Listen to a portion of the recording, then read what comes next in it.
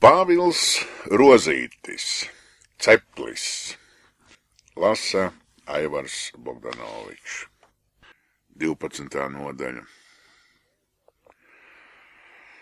Plašu vērienu iesāktie Edmunta sausā un Valentīnas kāzu prieki nevarēja un nevarēja norimties. Kamēr nebija iztukšoti visi atlikušie dzērieni, tikmēr jaunais pāris miera neredzēja. Atkāznieki nāca no dienas dienā un kopā ar Edmundu dzīvoja vienos priekos. Tur bija Edmunta draugi un paziņas, kas sacījās nevarot un nevarot pierast pie domas, ka Edmunds pārgājis citā kārtā un atmetis jautro puišu dzīvi. Viņi skūpstījās, atvadījās, dzēra un raudāja. Bet pēc laika bija aizmirsuši visu notikušo un sākās atvadīšanās no gala. Šķita, ka Edmunds būtu dzīvs aprokams, un e, tādēļ viņa nenovēršamo postu varēja atvieglot vienīgi ar asarām, dzeršanu un ciešu kopā turēšanos. Bieži šī skaļajā, bet žēlabainajā rituālā piedalījās arī Nagainis. Kaut gan viņš bija Valentīnas tēvs, tomēr kopā ar jauniešiem slaucīja asaras, kā nožēlodams, ka Edmunds liktenīgā kārtā kļuvis par Valentīnas gūstekni, jo arī Nagaini pāri par tēvu stāvēja vīrietis, jā, kas nožēloja, ka savu dzīvi vismaz ārēji ir atdevis vienai sievietei. Valentīnai jau saka apnikt šī dzērā jāsarēnā gaudošana, kas nerimās no dienas dienā. Viņa bija cerējusi uz klusu tūmu ar Etmuntu jaunajā dzīvoklī, kur tos, nu, neviens netraucētu. Tagad bieži gadījās bēgt no mājas laukā, lai atpūstos no trokšņa un izdzertu balsu čērkstoņas. Dzīvoklī visas malas šķita lipīgas un dzērieniem aplaistītas.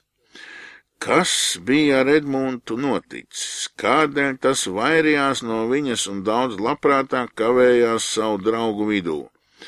Tur viņš bija jautrs un bezbēdīgs, bet Valentīnas klātbūtnē sapīts un drūms. Tas Valentīnu uztrauca, un viņa kādreiz savus jūtas atklāja Edmundam. Vai tiešām tu tik ļoti nožēlo, ka esi man aprecējis?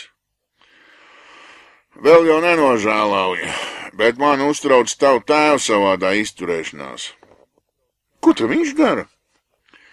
Izvairās no sarunām ar mani gan jau laika esot diezgan, bet es gribu vienreiz skaidrību, cik ilgi viņš vilcināsies. Es domāju, ka viņš nemaz negrib vilcināties, bet gaida, kad tu būsi paģirs izgulējis. Ar apdzērušos cilvēku taču nekā prātīgi nevar izrunāt. Es pat dzērumā esmu skaidrāks par dažu labu nedzērušu. Vai tad tev tik ļoti skauž, ka es ar draugiem drusku papriecājos? It nemaz neskauž, bet jūsu priekiem nav gala. Kopš pašām mūsu kāzām tu taču dzīvo vienā dūmā. Kad tu reiz attieksies? Es baidos par daudz ātri attiekties. Nedrīkst jau nemaz visām baumām ticēt, ko man stāsta. Kas tās par baumām, kuras tev tā uztrauc? Tavam tēvam draudot bankrots, un es solītās pūra naudas vietā saņemšot žūksni izpildu rakstu. Tā par īgu zobojas. Tiešām tev jādomā tikai par pūru? Man kauns to pat dzirdēt. Netik strauji, mana mīļā. Ja tu būtu saprātīga, tad domāt tāpat kā es. Mums taču abiem būs jādzīvo. Vai ar savu virsnieku algu Tevi tā varēšu lutināt, kā tēvs lutināja. Tu taču strādāt nekā nemāki, tikai staigāt apkārt. Vai tad es precējos tādēļ, lai strādātu? Tad jau es labāk varēju palikt pie tēva un dzīvot mūžīgā bezrūpībā. dzīvē ir daudz skaistuma arī bez darba. Protams, ēšana un gulēšana. Cik kalpons man vajadzēs, kas tev paēdina un apguldina? Man jau pašam nebūs vaļas to visu izdarīt, jāiet darbā. Sievietei vienreiz jātiek brīvai no mājas saimniecības pienākumiem. Viņa nav verdzene, un tāda arī nebūs. Labi, labi. Ko tad viņa darīs? Valstīsies pa divāniem un slinkos? Nē, brīvi izdaiļos dvēseli. Glabās sevī mūžīgās mīlestības uguni un apgaismos visu māju ar savu dvēselīgo gaismu. Vai arī vergu vīru, kas dienu un nakti strādā šeit dvēseles izdaiļotājai? Vīram nav tiesība iejaukties sievas dzīvē. Viņš nav spējīgs sievietes dvēseli saprast. Vīrietis par daudz pieķēries dzīvei un zemē. Viņš nekad nesapratīs mūsu klusos sapņus. Par ko tad jūs īsti sapņojat? Es domāju, ka ik viens savu slinkumu un nevīžību cenšas aizbildināt ar diezin kādiem eh, dvēseles sapņiem. Visdaļākais sapnis ir pati dzīve. Mēs, karavīri, neesam raduši gaust un nopūsties. Mums ir pienākums, kas pildāms pāri visiem sapņiem un nevīžībām. Mēs nedrīkstam valstīties un slinkot. Edmund, Es domāju, ka tu tomēr labāk par citiem sapratīsi sievietes dvēseli. Ja sievietes dvēseli pastāv slinkumā un izlaidībā, tad es viņu nekad nesapratīšu. Tagad es redzu, ka visi vīrieši ir vienādi. Mans tēvs vienmēr skandināja to pašu, ko tu runā. Vai jūs tiešām nejūtat, ka sievietei vajag tuvoties ar sevišķu uzmanību? Protams, uz pirkstu galiem, lai neiztraucētu sapņaino dvēseles izdaiļošanu. Pacietīgi jāgaida, kamēr tev lapa tiks atgriezties no aizmākoņiem. Man tikai jāgādā, lai tavai sapņošanai būtu mīksta un ērta vieta, lai tavas debesis neviens neaptumšotu. Vai tad kāds brīnums, ka visu to redzot un jūtot, es mēģinu aizmirsties un dzeru kopā ar draugiem? Tad tomēr tu tā nemīli, kā mani vajag mīlēt. Es neesmu tāda kā citas sievietes, kas domā par dzīvi un rūpējās par māju. Es nevaru savai dzīvei nodarīt pāri. Es gribu tevi pārveidot, un tādēļ nepadošos. Tev jāpiemērojas man. Nu, to mēs vēl redzēsim. Karavīri piemērojas tikai kaujas apstākļiem. Edmunds diezgan asi iesmējās.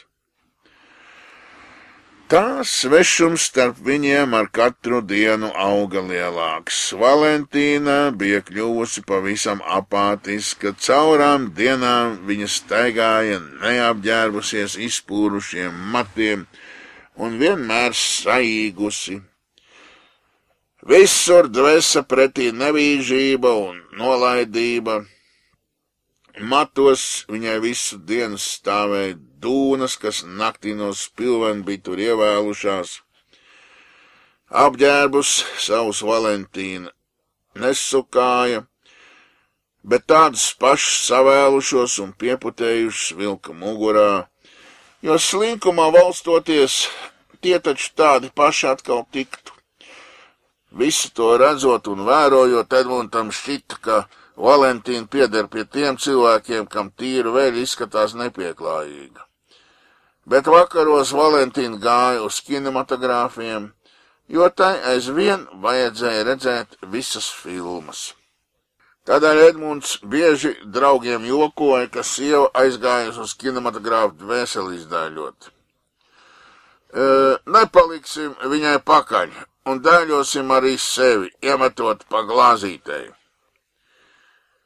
Tā divas dzīves plūda katra savā gultnē, nevarēdamas sajiet kopā. Tomēr Edmontam drīz nāca jauni pārbaudījumi. Kreditori sāk uzmākties un draudēja kāzu šņabja rēķinus iekasēt ar tiesas palīdzību. bet Nagains par visu to nelikās nezinis. Uzmācīgākajiem kreditoriem sausais deva vekseļus, jo naudas viņam nebija. Pārējos viņš eh, raidīja pie Nagaiņa, bet tur neviens negribēja iet. ja jau no jums mēs nedabūsim, tad no Nagaiņa pavisam nav ko cerēt. Tie aizbildinājās un nelaidās no sausā vaļām. Tā Edmunds kārtoja lielisko kāzu rēķinus, bet no solītā pūra nebija manījis ne santīmā. Tomēr Edmunds vēl aizvien cerēja, un sevišķi nebāzās sievas tēvam e, virsū, bet kreditoru neatlaidīgās uzmācības nomocīts, Edmunds vairs neizturēja un meta visu kaunu pie malas un gāja pie nagaiņa. Mums vienreiz jānokārtot rēķinu, jātiek skaidrībā. Tā ilgāk nevar iet. Edmunds iesāka tik ļoti nepatīkamo sarunu. E, vai tad e, mums vēl kāda neskaidrība? Nagainis vientiesīgi smaidīja uz notam pretī. E, neskaidrības nav, tikai jānokārtojas. Man sāk mesties karsti. E, kas te pa nelaimi? Ar Valentīnu nevarot satikt. Tā jau sākumā iet, kamēr saskaņojas. Tas viss ir nieki. Mani māc nost ar nenokārtotiem kāzu rēķiniem. Ko te vēl nav viss nokārtot, nu nevajadzēja tik ilgi vilcināties. Tāpēc es arī atnācu, lai vienreiz par reizēm izbeigtu šo vilcināšanos. Visus izdevumus esmu savilcis vienā kopsumā, te viņi būs. Edmunds pasniedza nagainim koprēķinu. Jā, prāva summa. Nu bija jau arī kāzas. E, es neticu, vai kāds no mūsu ģenerāļiem varētu sev tik lepnas kāzas rīkot. Tad ir vērts, ka precas. Tas jau nu viss tā, bet tagad e, gribētu to naudas izdevumu nolīdzināšanai. Man taču vairs neliek mieru un draud laist tiesa izpildītājs virsū. Es tur nekā nevaru līdzēt. Man pašam tagad iet slikti. Nav vairs agrākie laiki. Nu, nevajadzēs solīt, tad arī tādas kāzas nebūtu rīkojis. Solīts makā nekrīt, bet kāzas katrs sev rīko pēc iespējas un pēc patikas. Sievs tā, lai paliek joki, es tagad runāju nopietni. Es arī nejokoju. Katrs pats maksā savu kāzu rēķinu. Valentīna taču ir tava meita, un kāzas rīkot ir līga uz tev pienākums. Bija, bet tagad tava sieva. Es domāju, ka vīram ir lielāki pienākumi pret savu sievu nekā tēvam pret meitu. Es taču dzīves būdams nedalīšu mantu, nekur jau viņi nepaliks, kapā jau es līdz nepaņemšu. Tepat vien jau būs.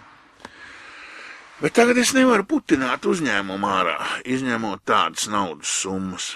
Arī automobīls man pašam vairāk vajadzīgs, tādēļ es nevarēšu jūs abus ar Valentīnu tik bieži vizināt. Ja viss sacītais nopietni ņemams, tad man nekas neatlīk, kā šķirties no tavas meitas. Sausais izteica pašu svarīgāko biedinājumu, ar ko cerēja Nagaini pilnīgi satriekt. Viņš taču nepieļaus šķiršanos tik drīz pēc kāzām, kas dzertas ar tādu troksni un par kurām vēl daudz Rīgā runā. Bet tā domādams, Edmunds nepazina nagāņa raksturu un patiesos viņa uzņēmuma apstākļus. Tas viss ir eh, jāņem pavisam nopietni. Bez tam tu nešķirsies no manas meitas, bet no savas sievas. Mani ar tādām lietām nevar iebiedēt. Ik viens no savas sievas var šķirties pēc patikas. Es nemīlu tādās lietās iejaukties. Man pašam tik daudz rūpju, ka galva griežas apkārt. Valentīna ir no mana kakla nost, godam esmu aizvadījis, lai nu māku pati ar vīru sadzīvot. Kad es miršu, tad arī dalētu manu mantu. Bet es palieku pie sava. Nagainis e, cieti noteica, jo viņš pie labākās gribas tagad nevarēja ne latu atlicināt. Nu tad es arī palikšu pie sava. Pavisam saniknots, sausais uzlēca no sēdekļa.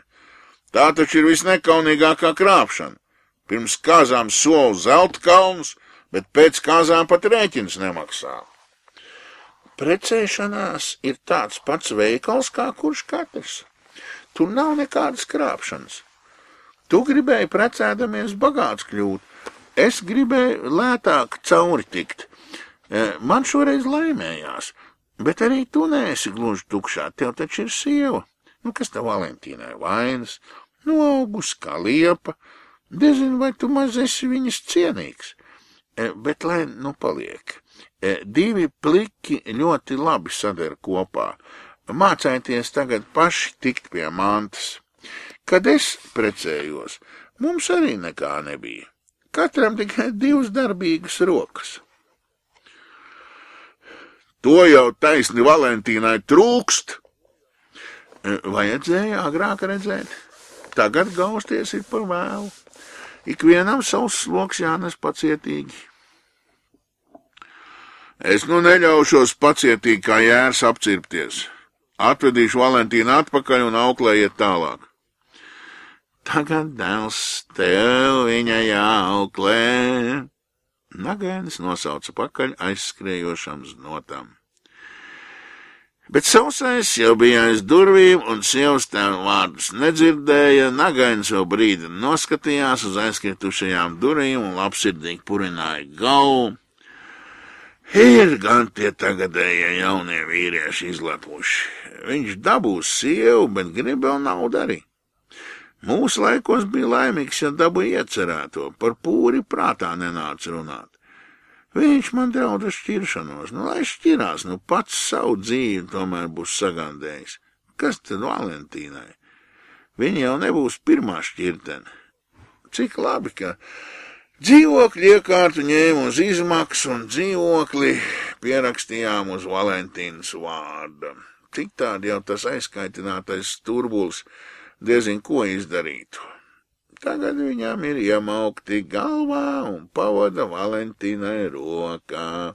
Neizdancojās, nekur neaizbēgs. Gan Valentīna pratīs tādas kumeļus savaldīt, Aizskaitinātais Edmunds ātrās dusmās nekā labāk nevarēja izdomāt, kā no sievas tēva doties tieši uz māju pie Valentīnas. Aizjot viņš to atstāja uz divānu valstāmies, pārnākot atrada gultā aizmigušu. Tātad viņa no divāna līdz gultē tomēr bija kaut kā tikusi. Edmunds sagrāba vēl trakākas dusmas, viņš gan drīz kliedza Valentīnai.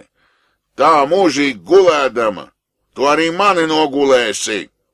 Valentīna iztrūkusies uzleca gultā pussēdus, bet viss sapratusi, nomierinājās un atkal apguldamās miegaini piebilda. Nelien pa tūklāt, tad nenogulēšu.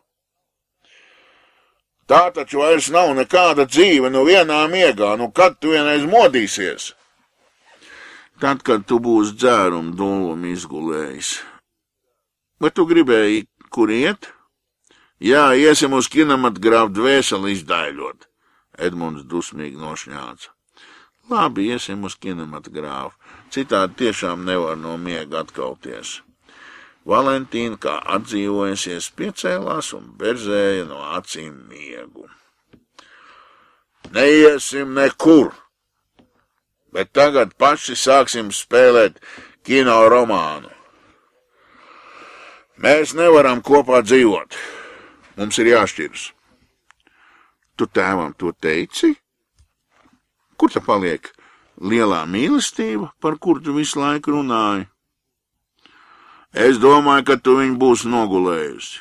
Tavam tēvam es pateicu, ka es nevienu dienu vairs nedzīvošu ar tevi kopā. Viņš ir nekaunīgs krāpnieks. Tagad tikai sagaida, ka drīzumā izūtrupēs visu dzīvokļu iekārtu. To nemaz nevar izdarīt, jo viņa ir ņemta uz izmaksu. Ja kārtīgi nemaksās, veikals paņems atpakaļ. Šie Valentīnas vārdi Edmundam bija kā pērkona spēriens. Viņš atrās dusmās nekā vairāk nezināja, kā iesaukties. Un tad tu pati arī neesi kaut kur uz izmaksu paņemta. Tā Edmund iet, kad netic mīlestībai. Es tev vienmēr to teicu. Ko tu te pātaro? Ņem savus kredītu mēbeles un atbrīvo man dzīvokli. Nē, draugs, dzīvoklis ir uz manu vārdu. Es nekur nedomāju iet. Ah, tā tāda ir tā slavinātā mīlestība, nodrošināta no visām pusēm. Vai tad es nezināju, ka tu mani preci pūra dēļ? Tad jau es būtu beidzamā muļķi, ja nenodrošinātos. Tagad tu tik ātri no manis neaizskries. Žēl būs viss tā pamest. Apdomājies labi un dzīvosim tālāk. Man nav ko apdomāties. Es nevienu dienu vairs negribu ar tevi dzīvot. Edmunds izskrēja no dzīvokļa kā korķis no satrakotas šampāniešu pudeles. Vai tiešām viņš tā bija izmuļķots? Ko tagad iesākt? Ko darīt? Viss tik skaisti iesāktais un cerībās lolotais bija izbeidzies kā neglīts joks. Nagainis tikai ņirgājās un nevienu nopietnu vārdu neteica. Par nopietnību taču nevar uzskatīt visu to, ko viņš tur sapļāpāja. Droši vien tikai ķircinās ar mani. Tas jau mierināja Edmunds, jo grūti bija pierast pie grūt, rūktas patiesības. Gribējās vēl sev mierināt un paturēt cerības dzīvus. Pašam nemanot, Edmunds bija nonācis pie pelēkā namiņa, kur dzīvoja māte. Šo ceļu Edmunds kopš kāzām nebija mērojis un ar māti nebija ticies. Tagad varētu ieiet un apskatīties, kā viņai klājas un vai ir vesela. Arī naudu papirosiem varētu aizņemties nu, kādas desmit lapas. Teiks, ka maksa aizmirsies mājās. Visu patiesību tomēr vēl mātē nevar teikt. Dēlam ienākot vecā sausienē, pašreiz ieturēja parasto maltīti, krūzīti, kafijas ar saharīnu un gabaliņu uz oglēm ceptas siļķis. Sausene bija tikko no darba pārnākus un atkal domās kavējās pie sava dēla laimes. Edmundu ieraukot, viņas sirds kā pamira, reizē no prieka un arī no baigām sajūtām. Kas gan Edmundu šurp atzinis? Edmunds steidzīgi pa paradumam noskūpstīja mātu uz pieras un tūliņ apsēdās uz kušetes, kur tik bieži bija gulējis, kad pašam savu dzīvokli nebija. Nereti to vajadzēja darīt no vienas algas dienas līdz otrai, kad naudas nebija ko istabu noņemt. Māte tādās reizēs ne tikai mitināja, bet arī ēdināja viņu. Apmazgāt savu dēlu sausiem vienmēr uzskatīja par godu, ko tas sev gribēja paturēt līdz kapam. Kādi vēji tad tevi dēliņa atpūta pie manis? Es jau domāju, ka nu pavisam būs aizmirsis savu veceni. Gribēju šad un tad uh, aiziet, bet nedrīkstēju. Mani māte atpūta lieli vēji. Tas nebija labi, ka tu nekad neatnāci. No kā tev jābaidās? Vai tad es neesmu kungs pats savā mājā? Es jau nu gan kungs, bet pašai tomēr ir un paliek tā galvenā teikšana. Kāpēc tad šeit tā galvenā teikšana? Nu, viņai jau tā lielā manta, manta dēls nosaka visu pasauli. Kam viņas daudz, tie ir vareni. Taisies tik no ceļa nost, ka nesamien. Ko nu runā niekus? Nav nes smakas no visas izdaudzinātās bagātības. Pēc šiem dēla vārdiem sausene palika ieplastu muti stāvam, kā valodu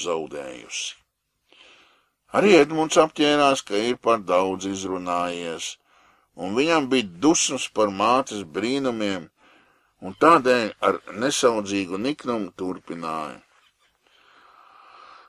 Es esmu kritis par upuri, īstu krāpnieku nagos. Nav nevēs no solītā pūra. Bez tam man pašam jāmaksā visu kāzu izdevumi.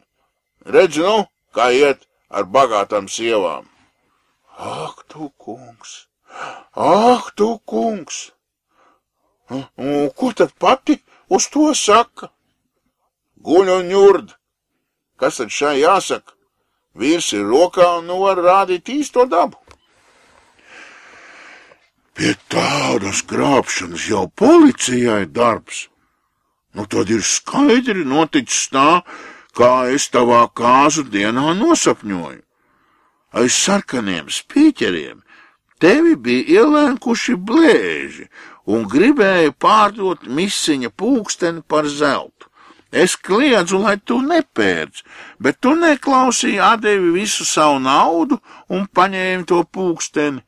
Nu, nu ir skaidrs, ka sapnim bijusi taisnība.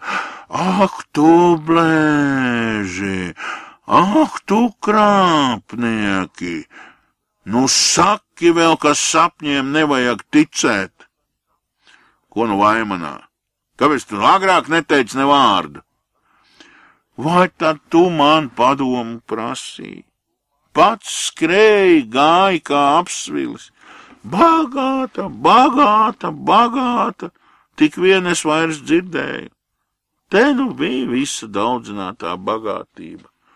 Nu kā nu mācējis tādu lielmāti apuišot un uzturēt? Kā saniknota pūce, Sausena nostājās pret dēlu, un Edmundam ļoti patika, ka māte Valentīnu nosauc par lielmāti. Tas tiešām bija viņai vispareizākais apzīmējums. Vienmēr varēs teikt, ka lielmāte guļ un ņurd. Edmundam eh, kļuva pavisam jautri, un viņš uz brīdi aizmirst, ka ir apkrāpts un piemuļķots. Edmundam pat šķitam, ka tas nav noticis ar viņu, bet ar kādu no tā draugiem, par ko var pasmieties. Mēs neņemsim to lietu tik traģiski. Es vairs pie lielmātes atpakaļ neiešu. Bet eh, tev jau šodien eh, jādod man naktsmāju. Vai tad tu pavisam prātis izdzīvojis? Nu, kura māte tad palīdzēs dēlam no sievas šķirties? Ej atpakaļ un dzīvojiet mierīgi. Gan jau viņa nāks pie saprašanas un sāks strādāt, nu, ja vēl redzēs, ka citādi neiet. Tā nu gan nekad nestrādās, un atpakaļ pie viņas es ar neiešu. Gādā tik man vakariņas un klāja gultu tepat uz kušetes. Vai nu tad, bet jāiet uz bodu, kaut kas jāpalūko. Mājā nekā nav. Nu, dod naudu, es aizskriešu. Man naudas nav. Ak, tu mīlunžē, pat, nu pat naudas viņām nav. Nu, kur tad, lai es, nabaga sieva, ņēmu? Sausene apņēmās lielo lakatu un virzījās uz durvīm. Edmunds nosauca pakaļ. Arī papiros atnes man. Sausais dažas nakts pārgulēja pie savas mātes, vakaros vēl pārnāca, rītos agri aizgāja, sausen dēlu pacienāja kā spēdam, bet sevī pūta vien par lielo nelaimi. Cerētās vieglās dzīves vietā tagad bija atkal jāgulda un jāmielo dēls, un vēl Edmunds visu laiku bija sapīts un labprāt nerunāja ne vārdā. Vai nu viņam mazums bija nepatikšana? cerējis daudz, tagad palicis tukšā. Tur jau arī bija ko roties. Tomēr Edmunds tikpat pēkšņi, kā bija ieradies pie mātes, atkal nozuda. Vienu vakaru neatnāca pārgulēt, un tā arī neatnāca vairs. Sausene veltīgi ik vakarus izgaidījās, bet dēls bija kā ūdenī iekrits, Kur viņa to varētu meklēt? Uz darba vietu iet dēls viņai bija sen noliedzis. Karkungi negribot, ka vecs sieviņas maisoties pa kājām. karš esot vīriem nevecenēm. Iet pie jaunās un jau atstātās sievas meklēt nebija nekādas jēgas. Ja jau māt nekā nezina, vai tad tā ko zinās? Tā lēnām drupa vecā sausene, mazāk no darba, vairāk no rūpēm par dēlu. Bet Edmunds bija atgriezies atpakaļ pie Valentīnas. Viņa kādu dienu aizgāja pie tā uz darbu un lūdza, lai taču atnākot izrunāties. Nevajadzēšot nemaz palikt, bet izrunāties taču varot. Taisni tanī dienā Edmunds saspītējās un neaizgāja bet jau otrā dienā vairs neizturēja un bija klāt. Viņš taču gribēja zināt, ko īsti Valentīna tam varētu teikt. Izrunāsies un mierīgs ir aizies. Nav jau bērns, e, ko var ar varu aizturēt. Tomēr Edmunds bija jauns, dedzīgs vīrietis un Valentīna valdzinoši diezgan, lai to ievilktu savos skāvienos. Tā arī notika, jo Edmunds Par ilgu bija gavējs, kas nemaz nebija viņa dabā. Viņi kopā paēda pusdienu, Valentīna stāstīja, kā viņa ar tēvu izrunājusies un ka tā lieta vēl nesot tik traka. Tēva uzņēmumu maksājumos pašreiz esot sastrēgums, bet tas viss drīz nokārtosies un tad būšot labi. Uz tēva izrunāšanos nevajagot griezt vērību, jo viņam esot tāda daba. Viņam patīkot ķircināt cilvēkus, kas ātri skaišoties. Nu, tas viss Edmontam bija kā mierinošs balzāms, un drūmi iztēlotā bezizēja noskaidrojās. Kādēļ nagainim tiešām nevarēja būt maksāšanas grūtības? Tagad jau uh, visiem ar naudu gāja smagi. Jā, tā bija patīkami sevi mierināt un cerēt, jo mierinājums un cerība stiprina cilvēku, kamēr šaubas un bezcerība grauj. Tādēļ Edmunds ļāvās cerībām, jo viņas saldināja Valentīnas skūpstu un skāvienu dedzība. Pie Valentīnas paliekot, Edmunds pilnīgi aizmirs māti jo viņām bija tā jaukā īpašība visu un visus aizmirst, dzīvot un piederēt tikai tam, kas tūmā. Viņš pat mātei nekā neziņoja par sevi un nejuta, ka tā vakaros vēl tik gaida. Tagad Edmunds centās Valentīnas nevīžību neredzēt, un, ja ko ieraudzīja, mēģināja izskaidrot un attaisnot. Nu, nav maizes bez garos, nav rožu bez ērkšķiem. Tāpat arī Valentīna nevar būt uh, bez saviem trūkumiem. Bet šie trūkumi nav nemaz jāmeklē. Nu, gluži otrādi. Uzkrītošais un asais jāmēģina novērst un mīkstināt. Tomēr Edmunta pūles neko nelīdzēja tikko pārgāja aizkavēto kaislību uguns, kad iesākās atkal rīvēšanās un neiecietība. Viņi viens otru tā nervozēja, ka bija grūti pat sarunāties. Ja viens teica jā, tad otrs katrā ziņā atbildēja ar ne. Un tas bija uh, ne tikai svarīgos jautājumos, bet arī sīkumos. Valentīna tik ļoti bija savu untumu varā, ka nemaz nerēķinājās ar Edmundu. Viņa taču e, bija bagātā nagaiņa meita, kas mājās vienmēr visu spējusi. Nu, kādēļ tad tagad tai atteikties no sevis un rēķināties ar otru cilvēku? Tad jau laulības dzīve izvērtīsies par verdzību, kur sievai jārēķinās arī ar vīru. Nē. Valentīna gribēja būt brīva un neatkarīga. Ja Edmunds negrib padoties, tad viņam nemaz nav īstas mīlestības. Īsts mīlētājs drīkst tikai apbrīnot, pielūgt savu izredzēto, bet ne pavisam jau nu kritizēt. No šāda netikuma Edmunds jāatradina jau sākumā, lai vēlāk viņam pašam nav grūti. Tie cilvēki nebija viens otram radīti. Valentīna nekad nevarēja lepoties ar čaklumu, bet pēdējo gadu uh, tēva turība viņu bija pavisam samaitājusi. Viņa mīlēja spriedelēt un visus noniecināt, bet darīt pati nedarīja nekā.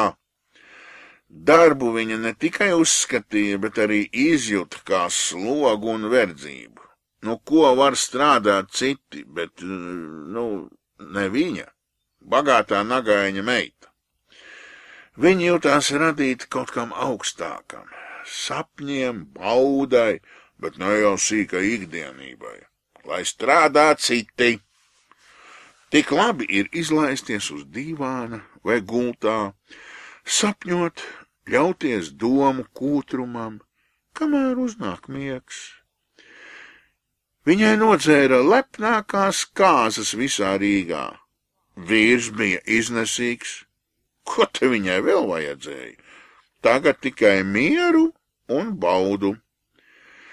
Pat Valentīnas godkārību apēda viņas slinkums, un tā nespēja vēlēties, lai viņas vīrs, nu, būtu vairāk nekā tas bija. Vīra censība tikai ienestu nemieru mājās, lai viņš dara, ko grib, bet lai liek Valentīnai mieru lai netraucē saldi slinko dzīves klusumu un ērtības. Jā, ērtības Valentīna negribēja zaudēt. Tas viss viņai bija pie tēva. Nu, kādēļ pie vīra, lai būtu citādi? Ja Edmunds man to nedod, tad viņš mani nemīl un vispār nav tāds, kādiem vīriešiem jābūt. Vīra pienākums ir gādāt, lai sievai nekā netrūktu. Bez tam viņš sievai drīkst runāt tikai mīļus vārdus un tuvoties tai tikai dziļā padevībā. Kamēr Edmunds un Valentīna meklēja neatrodamo un mēģināja savienot nesavienojamo, tikmēr vecā sausene ar bažām sāka sajust, ka spēki gurst. Savā mūžā viņa nebija vieglas dienas redzējusi, skrējusi, plēsusies, lai tikai būtu gabaliņš maizes pašai un dēlam. Vīrs viņai bija dzērājs, nomira piektajā laulības gadā. Dzērumā krita no stalažām, jo bija būstrādnieks un tā no slimnīcas vairs dzīvs neiznāca. Sausena palika ar trim maziem bērniem, un viņai vajadzēja vēl gādāt, lai vīrs nepaliek zemes virsū. Drīz pēc vīra nomira arī divi bērni, viens pēc otra. Dzīvs palika tikai Edmuntiņš. Kaut grūti sausenē bija aizmirst mirušos, tomēr viņa ar visu sirdi pieķērās Edmuntam, kas vienīgais tai bija palicis no sadragātās dzīves. Nu sākās skriešana, darbā, no agra rīta līdz vēlai naktī, bet Edmunds bija jāatstāj viens bez uzraudzības. Tā puika aug savaļā, darīja visādas zēnu nerātnības, par kurām mātei nebija nejausmas.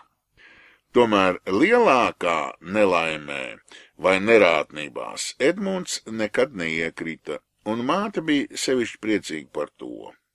Skolā Edmunds mācījās labi, jo viņam bija vērīga galva, tas sausenēji pamudināja vēl vairāk strādāt un gādāt, lai dēns dabūtu arī tālākās skolās pamācīties. Viņa negribēja, lai Edmundam vajadzētu atkal kāpt stalažās un rīkoties ar ķēli tāpat kā tēvam. Tik augstu gaisā vienmēr kaut kas slikts var gadīties, sevišķi, ja vēl mīl iedzert. Un vai nu Edmunds šī ziņā būs labāks par citiem vīriešiem? Gan jau iemetīs tāpat kā tēvs. Arī citus amatus sausena Edmundam negribēja mācīt. Viņa domāja, kā ar amatu vēl neviens nav pie turības ticis. tikai skolotam cilvēkam dzīvē atveras visi ceļi. Tomēr skolas arī Edmundu viņai atsvešināja. Viņš bija gudrāks, un reizē arī kļuva lepnāks, bet vai tas būs skolots, kam trūks lepnības? Tādēļ Sausen neļaunojās, bet pat priecājās, kad Edmunds pret viņu izturējās augstprātīgi. Smalkiem cilvēkiem vienmēr jābūt lepniem, to prasa viņa stāvoklis. Viņi taču nevar katru sušķi laist sev tūmā. Tad jau pasaulē visi būs vienādi. Ja Edmunds tomēr parādīja mātei arī drusku uzmanības un nekad neatteicās no viņas pieņemt naudu, pat tad, kad bija jau labā vietā, Tad Sausena to izjuta kā sevišķu mīlestību no dēla puses. Viņai pašai jau savas dzīves nebija. Tā bija paradusi dzīvot Edmundam. Kad Edmunds precēja bagātā nagaiņa meitu, tad Sausenai šķita, ka tas nu uzkāpj visaugstākajā kalnā, kur tam neviens vairs klāt netiks un no kurienes būs grūti pat savu māti ieraudzīt, bet kad nu dēlam dzīve juka laukā, tad tas sausenē pavisam nospieda, līdz beidzot arī aizlauza. Cik labi būtu, ja Edmunds vakaros atnāktu un pastāstītu kaut ko mierinošu. Bet Edmunds nenāca, un sausena gandrīz pirmo reizi mūžā sāka just, ka dēls ir cietsirdīgs. Vai tā nu var savu māti atstāt neziņā? Taču atnācis un vismaz pastāstīs, kur tagad mīt. Nu vai tiešām māte vajadzīga tikai tad, kad nav vairs ko ēst un kur gulēt? Nē, ar to sausenes padevīgā sirds vairs nespēja samierināties. Neapmierinātība ar Edmundu Sauseni grauza no dienas dienā, kā nelabs grauzējs, tam pretoties vairs nebija spēka. Mīlestība uz dēlu, kas Sauseni bija nesis pāri visiem muklājiem un palīdzējis pārvarēt grūtības, tagad šķita sirdī pamirstam un nāvējam arī pašu sirdi līdz. Viņa cīnījās un pretojās uzmācīgajam nespēkam kā ļaunai nāvei, bet pagūra. Kādu rītu pēc murgos un bezmiegā pavadītas nakts, Sausen vairs nevarēja piecelties, jo kājas neklausīja un galva šķita nepaceļami smaga. Pienāca pusdiena un vakars, bet Sausen vēl aizvien gulēja, jo viņai nebija spēka. Kad istabiņā sāka krēslot, Sausenis sagrāba bailes. Viņa taču varēja te nomirt, un neviens nemaz to nezinās. Nomirt un Edmundu nemaz pirms nāves vairs neredzēt. Nē, tas sauseni biedēja vairāk par visu. Vai tad bija vērts dzīvot un skriet, ja nomirstot nav neviena, kas tavas acis aizspiež? Kaut atnācis kāds cilvēks, ko palūgt, lai pavēsta Edmundu bet kas pie viņas nāks? Sausen dzīvoja noslēgusies kā āps savā alā. Rītos agri aiztecēja darbā, vakaros tumsiņā pārnāca. Vai kaimiņi kāds varēja domāt, ka vecā vēļas mazgātāja vairs neiet dienas gaitās, bet nolikusies uz ilgu gulēšanu? Bet miegs sausenē vairs nenāca, un viņa caurām naktīm klausījās, kā žurkas grauzās pažobelēs. Tā vien likās, ka tās drīz sagrauzīs pēdējos dēļus un būs istabā iekšā. Tad viņas izbadējušās uzbruks sausenai, sāks dzīvu to graust, jo viņai vairs nebūs spēka pretoties bet Edmunds nenāks viņu glābt, jo tas māti pavisam aizmirsis. Kādu vakaru viens grabinājās pie sausenes durvīm, bet viņi nespēja piecelties un atvērt. Viņa mēģināja kliegt, bet rīkle bija tik izžūs, ka neviens skaņ nenāca laukā. Grabināšanās apklusa un kādi soļi aizdunēja projām. Pagāja labs brīdis, kad grabināšanās pie durvīm atkārtojās. Tad kāds piedauzīja pie logu un sauseni juta, ka nu ir jāceļas atvērt. Tas ir Edmunds. Ja tagad neatvērs, viņš aizies un vairs neatnāks. Sausene saņēma pēdējos spēkus kopā un izkrita no gultas. Viņa vairs nevarēja piecelties pat rāpu, jo galva pret galda kāju bija stipri satriekta. Atkal ārpusē soļi steidzīgi aizgāja, bet sausēne to nespēja atsaukt. Viņa zināja, ka tas ir Edmunds, un tādēļ iekliedzās, bet tā, ka pati sava kliedziena nedzirdēja, jo viņa nekā vairs nedzirdēja. Tas aizgājējs, kas nedzirdēja vecās sausenes pēdējos saucienu, nebija vismirstošās veļas mazgātājas murgas, bet viņas dēls Edmunds, kas tanī vakarā savāda nemiera tirdīts, klaiņāja pa pilsētu un pāris reizes iegriezās pie mātes, jo ļoti gribējās pīpot un naudas nebija ne santīm kabatā. Kad bācis pirmajā nācienā nebija mājā, tas Edmundam nelikās savādi, kur gan varētu būt aizgājusi. E, parasti taču vakaros aizvien bija mājās, jo dienas darbā piekus vairs nekur negribējās iet. Tādēļ pēc Edmunds pēc brīža atgriezās pārbaudīt, vai māte nebūs pārnākus, un pie durvīm vēl izgrabinājies Edmunds piedauzīja pie loga. Neviens neatsaucās, un Edmunds gāja projām. Bet tad šķita, ka kāds savādi iekliektos, kaut kas smagi nokristu. Edmundam kļuva pavisam baigi, un tas steidzīgi aizgāja. Ilgi viņš to nakti klaiņoja pa ielām, bet no nepatīkamās sajūtas netika vaļā. Atkal un atkal domās vajadzēja atgriezties pie mātes. Kas gan ar viņu varēja notikt?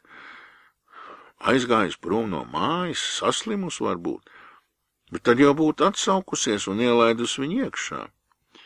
Tas nevarēja būt. Tomēr uzmācīgās domas neatkāpās, Edmundam pret pašu gribu vajadzēja nodoties dažādiem minējumiem, kas gan bija tāda veca cilvēka dzīve, darbs un vientulība, bez atpūtas, bez gaišāka prieka, vai kādam viņa bija vajadzīga, taču nevienam. Bet Edmunds pats taču viņu uzmeklēja, nu jā, tikai lai dabūtu uzpīpot. Un Edmundam kļuva kauns, ka tas māti pavisam aizmirsis. Viņa taču tam bija visu savu dzīvi devusi, lielu izaudzējusi. Tas jau nu bija tiesa, bet ko Edmunds varēja darīt? Ja tam ar māti vairāk nekā kopīga nebija. Viņām nekā nebija ar māti, ko runāt, un nebija arī nekādas vajadzības tikties. Bija taču tik daudz citu gaitu, kas, nu, aizvien vaļas pietrūka. Kādēļ tad šķiest laiku pavisam nevajadzīgām lietām? Tā klaiņojot un domājot, Edmundam ienāca prātā ka māte taču varēja būt arī nomirusi. Pirmo reizi viņš par to vispār domāja, un nu vairs netika no šīs domas vaļā. Muļķīga tā šķita, bet uzmācīga bez galā. Edmunds pēcpusdienā izgāja no mājas ar Valentīnu sastrīdējies, viņš pat labprāt negribēja šo nakti atgriezties mājā. Būtu varējis varbūt pie mātes pārgulēt, jo arī Valentīna pēdējā laikā dusmas bieži aizskrēja pie nagaiņiem nakšņot. Kādēļ gan eh, nu, Edmunds nevarēja darīt tāpat? Bet tagad iedoma par mātes nāvi Edmundu māca nost un zina atpakaļ mājā pie Valentīnas. Tomēr taču būs cilvēks tūmā, varēs pat kādu vārdu apmainīt. Nakts pilnajās ielās kļuva pavisam neizturami, tādēļ Edmunds devās mājup. Valentīna vēl negulēja, kad Edmunds pārnāca, jo viņai vispār vakaros nenāca miegs. Edmundam ienākot, viņa nelikās to nezinis. Ko tas skrēja prom, ja tik ātri nāk atpakaļ? Viņi jau bija pieraduši viens otru pēc strīda sagaidīt mājā tikai otrā vai trešā dienā vai pat vēl vēlāk. Edmunta pēkšņā pārnākšana bija pilnīgi pret ieskakņojušos paradumu un savā ziņā pat traucējoša. Bet Edmunds, ienākot, izskatījās balss un dragbošā balsī iesaucās. Mana māte ir nomirusi, es to zinu. Kā tu zini? Kā negribot, Valentīna iejautājās, jo viņai nepatika, ka nakts laikā nāvu pieminēja. Kā es zinu, tā nav tava darīšana, pietiek ar to, ka es zinu. Tā nav man darīšana, no ko tu man stāsti? Patur savu gudrību pie sevis. Vai cik tu esi cietsirdīga? Es to nojaušu. Nu, tavās nojautās man nav nekāda prieka klausīties. Tu jau vienmēr visu nojauta. Lai nu paliek strīdi, bet mana māte tomēr ir mirusi. Edmunds klusi teica, jo viņam gribējās ar Valentīnu samierināties, varbūt tad tiktu no uzmācīgajām domām vaļā. Ja nu tā arī būtu, nu, kas tad tur par nelaimi? Tava māte bija vecs, vienkāršs cilvēks. Tu būsi no liekiem pienākumiem vaļā, tikai izdošanas ar apglabāšanu, bet viņi jau tev atstās arī kādu mantojumu. Kā izbijies, Edmunds klausījās Valentīnas spriedelējumos, bet tā varēja runāt par savu vīru māti, bet Valentīna jau gan nekad nebija sauseni redzējusi un arī nevēlējās redzēt. Tomēr Edmunds juta, ka vajag pretoties Valentīnai un sacīja, kādu mantojumu viņa var man atstāt, vienkārša veļas mazgātāja. Nu tad jau nav pavisam ko žēlot. Tāds vecens parasti ir skopus, glabā naudu zeķē. Varbūt arī mātei glabājas paslēpts kāds zutens ar naudu. Katrā ziņā glabājās, un tur būs iekšā daudz vairāk naudas nekā visā tava tēva uzpūstajā bagātībā kopā. Edmunds ironizēja. Mans tēvs jau nu, nomirdams, mani tukšā neatstās, par to tu nebīsties. Kāpēc te viņš nemirst? Bagāti cilvēki dzīvo ilgi, lai pa priekš nomirst tās vecās veļas maģcens. Nebīsties, arī tu kādreiz būsi veca vecena. Vēl jau nu gan es nemazgāšu nekad. To vēl nevar zināt, kāds kuram mums pienāks vakars. Veca veļas mazgātāja ir vērtīgāka par jaunu sliņķi. Par manu slinkumu tu neuztraucies. Ja man tas apstākļi to atļauj, kādēļ tad nepaslinkot? Vai tad visiem pa pasauli jāskrien ar sažņauktām dūrēm? Es ienīstu tādus cilvēkus, kas plēšas tikai pēc maizes un augstākiem ideāliem dzīvē nepiegriež vērības. Viss cilvēki nav radīti tikai mantas raušanai, kādiem tā ir jātērē arī. Citādi jau ideālisms pavisam izzudīs no pasaules. Manas domas lido tālāk par veļas baļņu. Ja es nezinātu, ka tavas domas tālāk par dīvānu vai kinematogrāfu netiek, tad varētu iedomāties, ka tu tiešām pasaulē kaut ko lielisku izsapņosi. Edmunds cēlīgā balsī atcirta Valentīnai.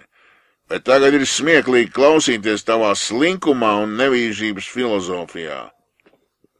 Nu, tam neklausies, ko te nāc tik ātri mājā, ka bija izskrējis prom.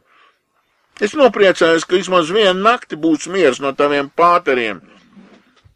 Dabūšu kārtīgi izgulēties. Tu vēl neesi izgulējusies. Tik jau tev tā dara, kā gulēt un pucēties. Edmunds vairāk nerunāja, klusēja arī Valentīna. Tā viņa klusēdām aizgāja gulēt. Gultā Valentīna drīz vien šņāca, bet Edmunds ilgi mocījās ar pašpārmetumiem. Ka tik ilgi nebija apmeklējis māti. Otrā dienā izrādījās, ka sausen tiešām mirusi. Edmunds viņu atrada uz mutes, guļam uz grīdas. Skaidri varēja redzēt, ka tā kritusi no gultas, un tā beigta arī bijusi. Savādi bija Edmundam visu to redzēt. Te katrā stūrī rēgojās galīga nabadzība un posts. Savādi, ka viņš mātes dzīvokli agrāk nebija ievērojis tik nabadzīgu un tukšu. Tagad tas bija tāds, ka pat kliegt gribējās pret to postu, kas te mājojas. Vēlāk Edmunds pārliecinājās, ka Valentīnai bija taisnība. Ar mātes apglabāšanu bija tikai izdošanas un rūpes, prieka no visa tā nebija nekāda. Vai veci cilvēki nevarēja izkust tāpat kā pavasaros izkūst izčākstējušais un nevienam nevajadzīgais sniegs? Tad pakaļpalicējiem nebūtu tik daudz rūpju un izdošanu. Ah! Pasaulē daudz kam vajadzētu būt pavisam citādi, tad būtu labāka dzīvošana.